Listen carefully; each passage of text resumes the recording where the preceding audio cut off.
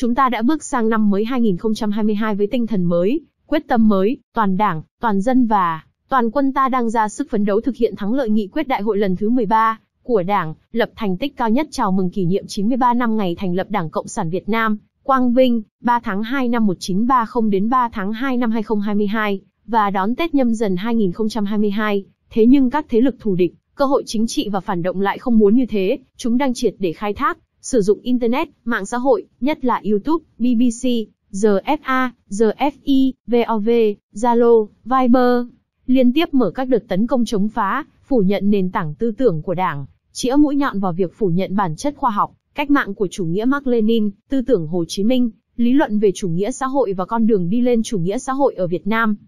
Đặc biệt, sau những thành công của Hội nghị cán bộ và Hội nghị văn hóa toàn quốc triển khai thực hiện nghị quyết đại hội lần thứ 13 của Đảng, phương hướng, nhiệm vụ và giải pháp phát triển kinh tế xã hội năm 2022, các thế lực thù địch, cơ hội chính trị và phản động lại gầm lên, với thái độ hàn học, tức tối, quyết liệt chống phá Đảng, nhà nước, quốc hội và công cuộc đổi mới toàn diện đất nước của nhân dân ta. Vin vào cái cớ một số cán bộ cao cấp của Đảng, nhà nước, quân đội, công an vi phạm kỷ luật phải xử lý pháp luật, các thế lực thù địch và các phần tử bất mãn, cơ hội chính trị đã quy kết, buộc tội, vu khống Đảng, nhà nước ta sai lầm nghiêm trọng về công tác cán bộ, công tác tổ chức và giáo dục chính trị, đạo đức cho cán bộ, đảng viên, bài xích, phủ nhận những vấn đề lý luận và thực tiễn về chủ nghĩa xã hội và con đường đi lên chủ nghĩa xã hội ở Việt Nam. Cùng với đó, chúng ra sức phủ nhận mục tiêu độc lập dân tộc gắn liền với chủ nghĩa xã hội mà Đảng, Bác Hồ và nhân dân ta đã lựa chọn, các quyết sách của Đảng, Nhà nước, Quốc hội về phát triển kinh tế, xã hội và phòng, chống đại dịch COVID-19, vân vân. Lúc này, đẩy mạnh triển khai thực hiện thắng lợi nghị quyết đại hội lần thứ 13 của Đảng, phương hướng, nhiệm vụ, giải pháp phát triển kinh tế xã hội và nhiệm vụ quân sự, quốc phòng năm 2022 có ý nghĩa đặc biệt quan trọng.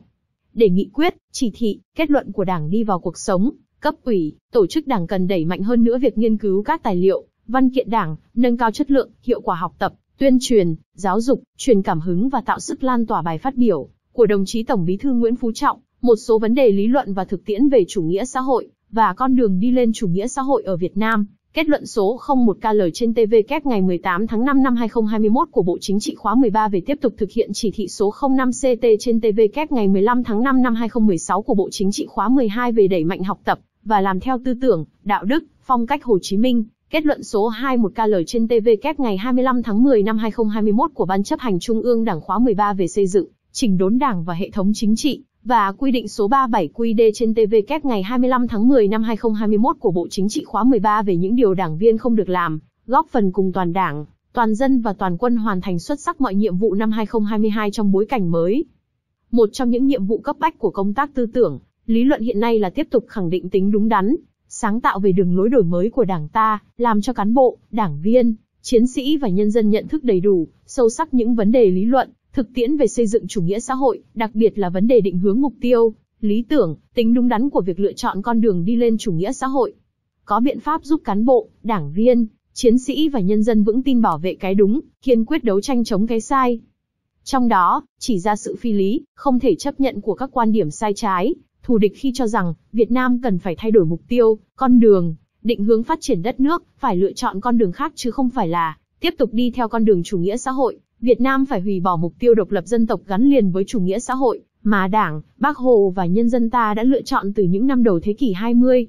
Họ còn cho rằng Việt Nam phải sớm thay đổi mục tiêu, con đường, định hướng phát triển đất nước theo chủ nghĩa tư bản thì mới có thể lột xác, để đổi mới, phát triển, Việt Nam mới có điều kiện để hội nhập quốc tế, thực hiện mục tiêu xóa đói, giảm nghèo, làm cho dân giàu, nước mạnh, dân chủ, công bằng, văn minh, trở thành con rồng, con hổ ở châu Á, Việt Nam mới phát triển hùng cường, thịnh vượng, vân vân.